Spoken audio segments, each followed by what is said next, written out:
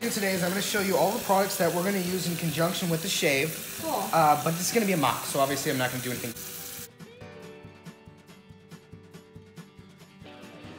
So what I say is, is that water is not required for the first step, but Yeah. it does make it so you have to use less because it helps you distribute the first product a little more. So the first product is an oil. So uh, basically what we're gonna do here is this creates a layer of resistance that promotes the glide of the razor as you can Oh, see with the water beating Yeah. up. And this is not a substitution for shaving cream, it's an addition to it. So this is gonna go on before. We're gonna take our brush, we're gonna get it wet with some warm water. Okay. Not too much water because you don't want it really sudsy lather with a bunch of bubbles. So we're gonna shake the excess water out.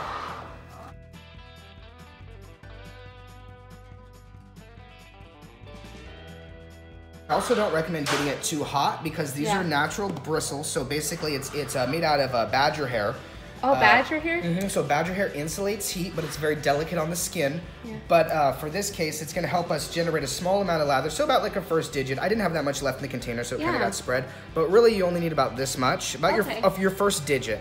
And we want to put it onto the tip of the brush, not into the base, because we don't want to have to distort the shape of the brush to get to it. We just want to go in small circles on the area that you're going to be shaving. So what is this going to do? This is going to do three beneficial things. This is going to, one, create an uh, actual microstructure with the lather itself. This is what shaving cream was intended to do. But a lot of people expect it to protect you from the aggression, the sharpness of the razor. It is not designed to do that. What it's designed to do, as you're seeing, it's turning into this structure that's holding the hairs up. So when you make passes, the hair doesn't flex and weigh and give way with the, the pass of the blade. Okay. So another thing we're doing as a byproduct of generating a lather in the head of the brush, we're preparing the area by cleaning all the dead skin cells off so that your tools could last longer and the cut is closer and cleaner.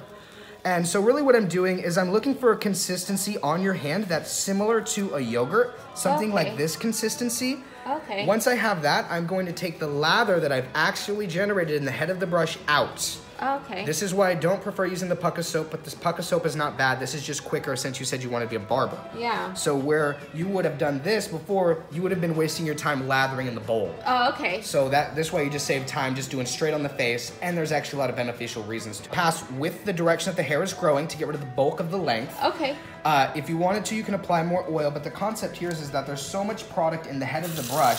This is another reason that the brush is really good, is because it turns a little bit into a lot. So what I did was is there was still some in there, Yeah. but when I was making rotations on your hand, it was getting a little stiff. Yeah. So I can tell that the lather was really full, but I want to make more lather. So I'm gonna pretend that I'm gonna make a second pass. So this time I'm gonna go against the grain, but I'm gonna make some more shaving cream in the head of the brush, pull it back out, and again, put it back on your hand as if we did that first pass. Okay. This time it should be a, bit, a little bit easier though. But the concept is that little bit, that Yeah. first digit, would be enough to do a woman's legs. Wow. And a lot of uh, men don't have that much surface area, so this Yeah. is dramatically more than enough. Now the concept here is, is that it's very thick. The, the idea would be is, is that when you're shaving the face, it's gonna stay localized. And when you get through half of the shave, you're not gonna have to apply more product. That's You know, like true, when it yeah. Mm-hmm. deflates and then you're just wasting more product.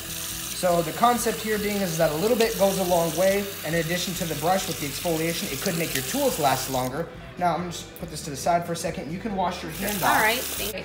Perfect. All right. So what we did so far is we did the oil, we did Yeah. the shaving cream, we did a mock as if we were gonna shave. So this is the post product. This is what we're gonna do after we're done shaving. Okay. So a lot of times, a lot of men's products after they're done shaving contain alcohol in them. Yeah. Usually it's to increase the shelf life of the product because it makes it antibacterial and they assume that you're going to be nicking yourself. So it Yeah. also is antibacterial for the skin.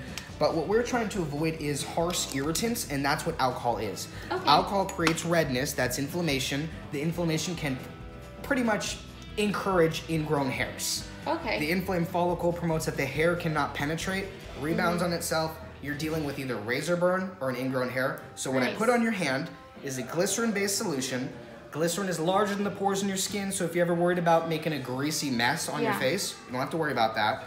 Uh, shea butter is really good because even if you don't want to use it after you're done shaving to reduce the redness, you can put it directly on the beard hair. It'll be a stubble balm or a beard softener. Okay. So that's what I recommend. Perfect. Thank you so much. Of course, and then while that sets into your hands, Yeah. so it's a little satin right now. I'm gonna tell you how to clean the brush. Okay. So the brush is really easy to clean, but there's a few little key elements here.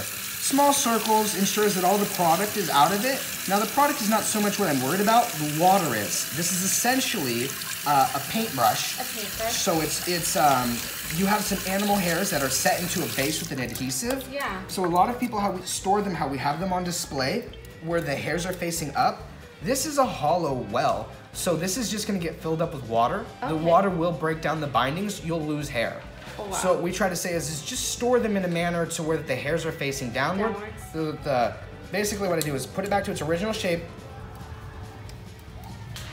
And that's why you guys have those hook things. uh-huh, and then hang them. So for the razor, it might be a little bit aesthetic, Yeah. but for the for the brush, it's absolutely imperative. It's basically what's gonna make this tool last a very long time. Otherwise, one, the bindings will break down, you lose the hair, or two, it can cultivate mold and it'll have a really bad smell. Okay, perfect. Yay, thank you for letting me film that. Yeah.